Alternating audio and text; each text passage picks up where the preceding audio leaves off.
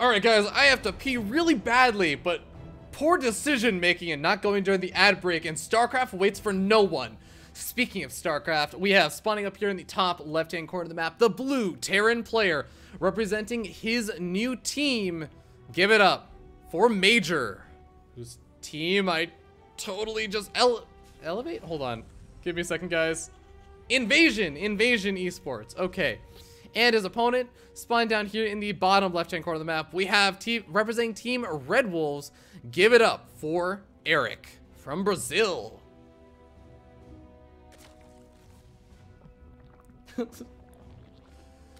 yeah, and apparently I can't spell the chat as people are now pointing out. But alright, ladies and gentlemen, we got ourselves another TVZ because you know what? Players from Latin America don't like Protoss very much, so we never actually get to cast Protoss. We haven't we haven't seen a single Protoss today, which does upset my Protoss heart a little bit, but it's okay because I'm learning more about TVZ and ZVZ and TVT and especially ZVZ, Ultralisk versus Swarm Host, Lurker, all kinds of other. I don't even know what to make of that last game. That last game was so crazy. But uh, Major, we're, we're going to have to address this. This is just a sad reality. Uh, people are expecting that Major's just going to stomp this. Like, very, very few people. In fact, I am really looking forward to seeing how the betting is going to go for this with the Partoofs. Because I'm anticipating a lot of people saying, okay, Major's Major's just gonna win this. Like, there's no way that Erik is gonna be able to take this for Major. It's Major, right? Major is one of the foreign hopes. He's this absolute god who just randomly decides that he wants to play StarCraft occasionally when Pokemon gets a little bit too boring for him, or maybe when he's already hit max level on the latest Pokemon game, he goes and plays StarCraft and he dominates. And it's kind of the question of when he wants to dominate, not so much if he wants to dominate. So how does Erik make this work? Well, he's going for the earlier Roach Warren, and this is the map that, hey, going for the earlier Roach Warren, this is a map that's very, very conducive for early aggression.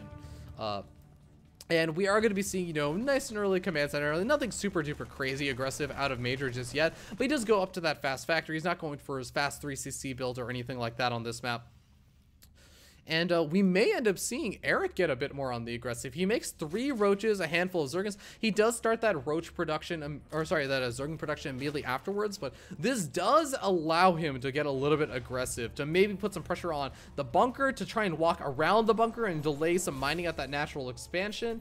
There's all kinds of things that he can do and we'll see how effective it's going to be. He's even making a couple of Ravagers. Ravager is going to be great at potentially shutting down the bunker, but oh my god, actually the Marine is getting very, very aggressive out on the map now. They are going to be able to run away from the Roaches and the Ravagers, going to be able to get back to the bunker in time, but there's only four Marines out. This is the entire safety line of uh, Major right now, and yeah, he does have a Siege Tank coming out very soon. He's going to have a Medevac that's going to be very, very helpful with any additional aggression that comes out from Erik, but is going to get very awkward as the SCVs try to repair. He's going to have to be careful those corrosive bile shots, making sure the SCVs don't end up dying as well, because that is guaranteed damage as well.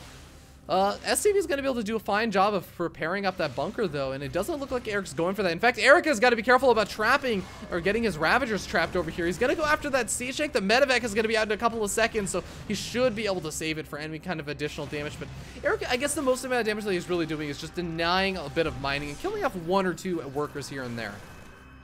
Behind this, he is droning up. He's not going up to that Lair tech or anything just yet. He's not going for a super fast two base play because he did invest quite a bit into uh, getting up everything. And oh, there he is. He is going to go for a fast two base play. Maybe going to try and transition out a little bit sooner, but Major now going to be in a great position to uh, potentially do his own form of counter aggression. He didn't actually end up losing that many units. We have three Marines lost and two workers lost, but that was a pretty big investment for Erik. He does sit up a decent chunk of workers, and he is getting up his third expansion and everything, but now he's got to use those units, use those Ravagers and Zerglings that he had uh, made to try and deal with this aggression, and does pick off the Widowmine very quickly.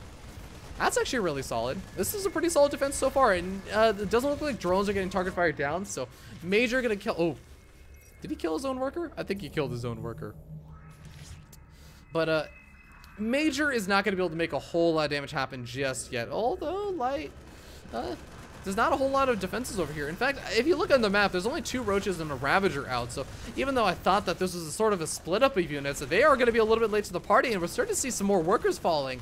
Five workers killed so far by Major. He's going to end up having to pick up these uh, these units over here and retreat on home. But behind this Major, the scary thing about Major is not actually his aggression. It's not his micro. Although his micro is definitely not subpar is the fact that Major always macros behind everything he does. Major is that unit or that player that just seems to have this weird number of units every single time he comes back into the game. It's this weird situation where he loses an army or maybe trades okay, but then suddenly he just has way more units than you would expect it behind it because he's so on top of constantly macroing out that army. Uh, third command center also finished up playing along with that kind of mentality of make sure your macros on point. While the drop tries to come back in and see what damage it can do, the medevac gets very, very low on health, does have to abandon two of the Marines, and that's going to be nice for Erik as he also gets a medevac low enough on health, one shot away from a queen, that he doesn't have to really worry about it, uh, putting on any kind of more aggression. He doesn't have to worry about more drops coming in for at least a little bit. But Starport has finished up that uh, reactor and is starting to pump out some of his own medevacs, so that, uh, that logic is not going to be true for very long, although a nice pick off with the Ravager getting a pick off on that final medevac as well as taking out those Marines in it. Again, Major, his big scary thing is not his micro his map awareness. Uh, not that he is terrible, I mean, but, uh, you know, losing that losing that medevac, not exactly the most ideal situation. Would have been great if he brought that home and repaired it up or something. But double medevacs now making their way across the map. Erik has a decent number of roaches this time, though. He only has one Ravager. And that does make things a little bit awkward, because he has been going up to a Spire Tech behind all this. Mutalisk now going to be coming out. They're going to be popping out maybe 5 to 10 seconds, a little bit on the later side after this uh, medevac drop comes in. Oh, that does give Major time to spot out the Spire and say, oh, no. Oh, hell no. I'm getting out of here. Uh, he doesn't want to deal with losing these medevacs. He boosts on out, goes to the watchtower, and says, okay, I didn't really get an opportunity to do damage, but I didn't lose my medevacs. I got a scout out my uh, opponent's spire. I can throw down some missile turrets if I want to. I can get up the defenses I need to defend against the Mutalisks. Although the Marines are starting to go down very, very quickly, and Erik actually has a pretty scary army. There's 22 Marines out with a hand, oh, okay, a handful of siege tanks in the sense that a siege tank is really big and you can only fit one in your hand. He has a siege tank out on the map and doesn't actually throw down any of those missile turrets, doesn't actually take heed of the scouting information that he got. He's just going to rely on purely Marines to try and deal with this Mutals harassment, and the Mutals should be able to get some damage on because there aren't that many Marines out. At a minimum, he's going to be able to keep Major pinned back quite a bit and potentially take a fourth expansion behind this as we do see the drone moving around trying to grab that fourth expansion. Finally, the missile turret is starting up, and yeah, a couple of the Mutals did end up losing their lives. Oh, I guess one Mutalisk ends up losing its life. but that's what I'm saying. This wasn't a ridiculous number of Mutals, so he didn't need to accomplish a ma major amount of damage, but he's already accomplishing a pretty decent amount.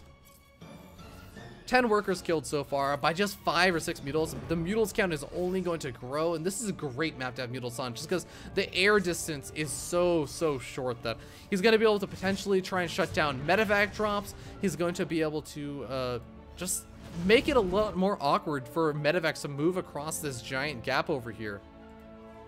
A Major is not afraid. He is uh, sending those medevacs straight across the map, and Mutals are a bit out of position. Beetle looking for this medevac down here in the bottom right hand corner. That's going to be a nice pick off. The Roaches and Ravagers aren't too far away from the main base, so they can get into a decent position. But three Widow Mines, this is going to be very, very annoying aggression to deal with. But most of the Widow Mines already go off on these Roaches. Overseer gets started up, and this drop is not going to be super successful. Mutals finally clean up that drop on the other side of the map. They are not going to be able to engage this uh, medevac on the on the main base, but I don't think they really need to. Erik is looking really strong this game. I'm not going to lie, ladies and gentlemen. I think a lot of people were really saying Major, the absolute dominating force, looks like he's going to be in a great position. And even though, yes, roaches are inflated supply, Erik's done a good job with the Mutalisk control. He's done a good job at defending. And if he can defend this fourth expansion, as it looks like his roaches and ravagers will be there in time to defend, I feel like he's just, he's starting to take a really, really solid army lead on top of keeping that economic lead.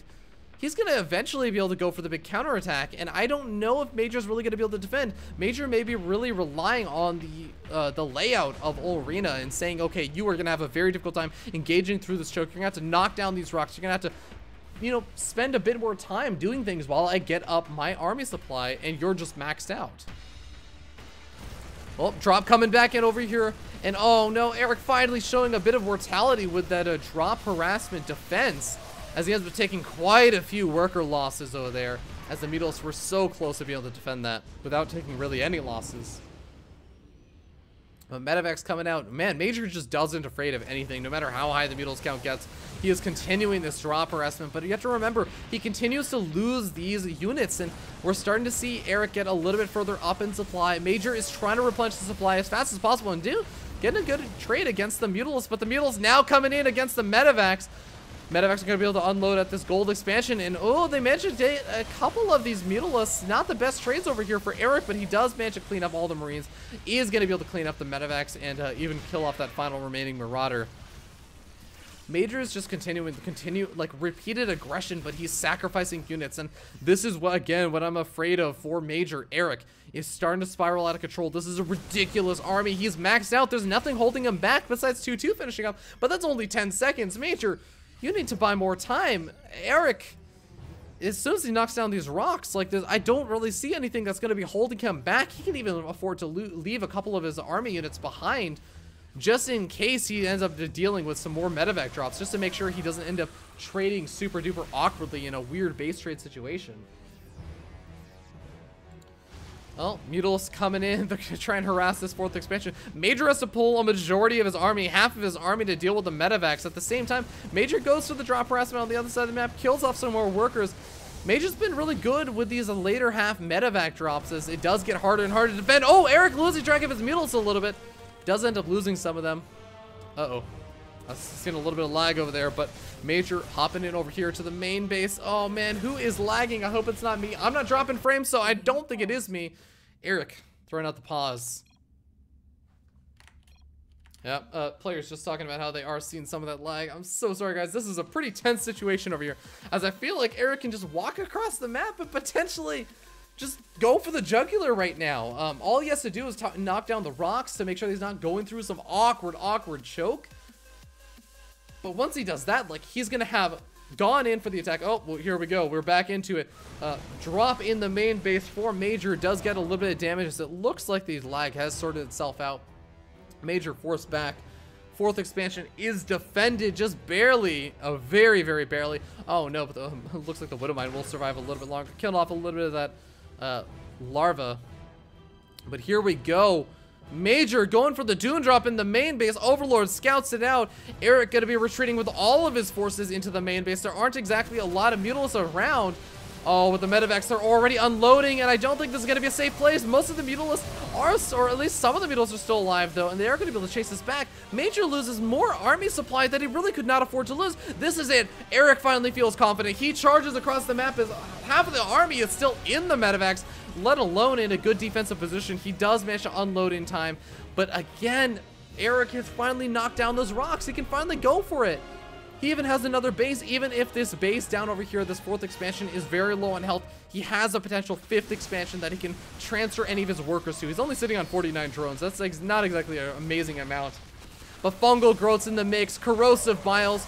Erik the Zerg player from Brazil saying, "Oh, Major, I heard you beat Kelazhur. I you. heard you've still been on a dominating stomp lately. I heard you joined a new team because you're doing so well. Well, guess what? Brazil is out for the jugular. I'm here for revenge for Kelazhur." And he is looking to be in such a great position. And look at this. He's made it through his ch uh, the uh, choke points that he had to worry about. He shuts down the medevac drops that go into the main base. Major loses more army supply. He shuts down this fourth expansion. No way that Major could defend this. And this is this is do or die over here from Major. He's sitting 171 to 200 supply, so he's not sitting too far behind, but he moves in to try and make some damage happen through the choke point, but fungal growth plus a couple of Ravagers can shut this down, and at the same time, Erik can come in from the other side and do some harassment. Oh, a lot of big Widowmine shots going off, actually. Oh, actually killing more of his Ravagers than he kills the Widowmines with there. Bit awkward. It's a bit, it's a standstill because Arena just doesn't really allow either the players easily move through this small choke point. And the rush distances are so small that whenever Erik tries to push in, whenever he finally feels like he's going to be able to put on the aggression, Major just tries to go for a counterattack, and Erik feels like he has to pull most of his army back. Wait, someone's saying that there's no combat shields. No, there's, def there's definitely combat shields. Unless Combat Shields wasn't finished three minutes ago, in which case, yes, I salute you, uh, person who said, I think it was uh, Naggle Waggles in the chat, saying there's no Combat shield. So if that was the case, that is something I missed. Thank you for pointing it out. Corrosive Biles, or sorry, uh, Corruption going down on top of some of these buildings, just delaying a bit of that production. Fifth expansion does go down, though. That only leaves Erik with the low health expansion. This is getting a little bit awkward. Chitinous plating is going to be finishing up. Plus, their Carapace is going to be finishing up. This this has got to be the biggest do or die moment for Major, right? Like, Major has managed to take out one of the expansions. He's managed to shut down the economy quite a bit for Erik. If he's got to make something work, this is it. This is the time where he's in the main base of... Oh my god, he's got actually three medevacs that really could unload and actually potentially take out this hive tech before the army got here. If he had unloaded everything, he looks like he will still be able to get the hive tech, so it's not too bad of a situation, but I feel like he still could have maybe taken out that uh, plus three carapace upgrade, could have done a little bit more damage, but regardless, he takes out the Hive Tech. Erik has got to go for it. There's no way he can just sit around. He's sitting almost maxed out. He's gotten up his Ultralisk. He's gotten up Chitinous Plate. He's sitting on, okay, not the best melee upgrades, but he's sitting on great armor upgrades. This is the best situation he's ever going to be in for the remainder of this game where he's got a couple of these Mutals out to deal with the Medivacs. He's got the Ultralisk out. He's got Roaches. He's got Ravagers for splash damage. He's got to shut down this fourth expansion. And maybe, honestly, I don't even know if he goes for the fourth expansion. I think that maybe you just go straight for the Jugular. Medivac drop coming back in. Met Mutalisk trying to engage against this. The Mutalisk see on 0-0 upgrades versus the 3-2 upgrades of Major. Gonna struggle to deal a lot of damage over there as those Marines and Marauders just do not die. Ultralisk gonna be able to help out quite a bit with that though. And Erik is retreating. Erik, he's letting this game slip between his fingers. It's suddenly even supply. Erik's not ahead in supply and he's still got cost ineffective roaches. Oh, Erik.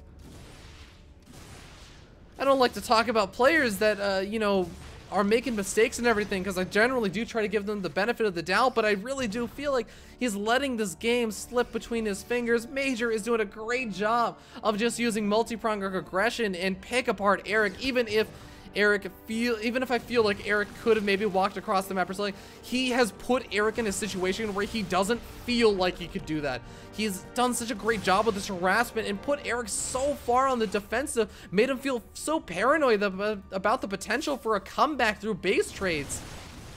That Erik has just not been willing to go for the big engagement. He has never allowed Erik to feel like he could take a big engagement going through those awkward choke points so, so heavily that he wouldn't just end up dying to a counter aggression. Oh, well. Alright, Erik. What now? What now, Erik? This is a best of three. This is game number one of the winners finals. The loser of this series does only go down to the loser's bracket. They do not get knocked out of the entire tournament. They still stand a chance, especially considering the only one will advance on from this entire qualifier. Only the winner of the grand finals moves on and gets that free paid trip to uh, WCS Shanghai. Erica's moving in. There's not even a fourth exp- Okay, well, there's a command center over here. Cool. Erik, you don't need to go for that. You need to find an opportunity to move in. There's not that much of an army over here. You're going to be counterattacked. Erik, you have to realize this. Your last mining base is going to get taken out. You have to go for it. No, Erik, you can't move back. Oh, Erik, no. I'm starting to, I'm starting to, I'm starting to feel like I'm at a loss for words here. And the weird thing is, Major isn't even like making a lot of units that really deal very well with Ghosts, or sorry, Ultralisk, because he just doesn't have an economy. He also does not have an economy. And I don't think that Erik is like down and out just yet, but we're on a situation where neither of these two players are mining. Look at that income graph, ladies and gentlemen. Look at that income graph. This is long distance mining over, or sorry, this is actually just, I, I'm amazed that there are still mineral patches over here for Erik. I guess he transferred a lot of his workers very early on. But this is it. Major's not mining. Erik is barely mining. Surely, surely one of these players is going to engage into the other. No? No, it, it doesn't look like it. Alright, well, I mean, get get a couple of nice pickoffs over there, killing off a Liberator for a, a Ravager. That's not the worst situation in the world. Overseer's keeping an eye out on uh, potential new expansions like this one that I imagine Major wants to throw down all of his mules on, but I like the fact that he was a little bit hesitant about it. Didn't throw them down immediately because he realizes this this uh this command center could go down at any moment. But here we go, a large SCV transfer. And he's set up his liberator zones. It's going to be hard for Erik to transfer or fight into this. Yes, time shifter. I really do like the jugular because I feel like this has been this is like a boxing match where both of the players have just been punching each other in the throats. Like forget about defensive like oh i'm not i'm gonna make sure i don't punch my opponent or like i'm not worrying about defending my face or anything no it's like i'm not worrying about defending and my opponent is punching my punching me in the throat repeatedly and i just don't care i'm gonna keep punching them in the throat and one of these two players is finally gonna be choked out but i don't know which one it is because it's such a weird game. I feel like everything tells me Major should have been losing these engagements, but he's sitting on 3-3 upgrades now. He's gotten up a decent number of Liberators, and honestly, only the Ravager's really there to deal with the Liberators. But here we go. Finally, the big engagement we've been waiting for.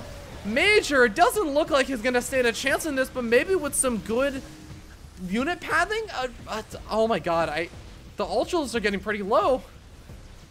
Good kiting happens. These ultras are starting to fall. Is Major really going to be able to take out these ultras? If he takes out the ultras, he's actually got a little bit of mining. He's going to be able to start to reproduce some of these units. Now, Karos Erik does also have some mining of his own, but he shuts down the mining base of Major. I think, oh god, Crucifile's taking out his own ultras. Not a situation you want to be in. But really, really good micro here from Major. Like, he's not taking the worst engagements. He's also looking for a counterattack.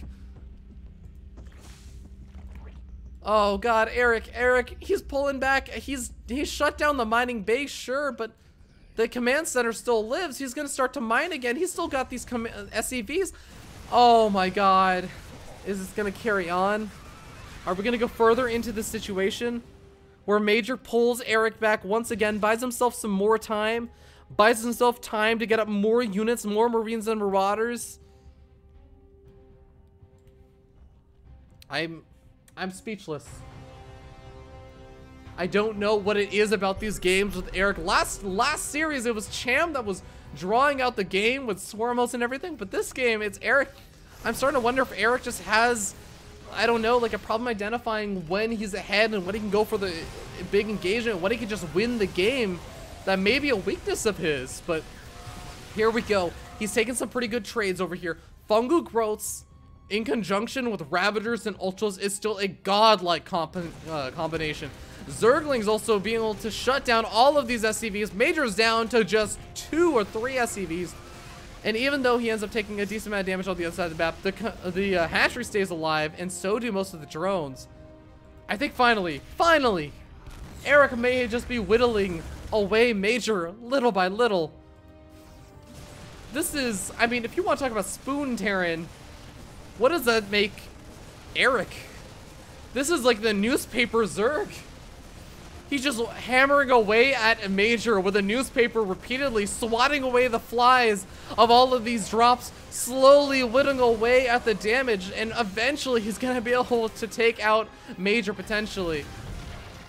Maybe. He's taking a lot of damage in his own right. But this one Ultralisk may be enough to defend this fourth. This is the Ultralisk he needed. The home Ultralisk, the one that will defend the home ground, the home terrain. Fourth expansion gets taken out once again. Erik, you Brazilian, beautiful, you beautiful Brazilian. End the game. I feel like you can. Major's literally not mining. You are. Don't pull back your entire army to deal with the drop, please. I, I believe in you. Oh god, the Ultras Cavern is gonna get taken out. Okay, he's finally doing it. He's finally just going for it. Fungal Growth's going down. Major has 15 Marines and 2 Marauders to deal with 3 Ultralisks, 4 Infestors. GG gets called. Finally, we end up seeing Erik walking away victorious.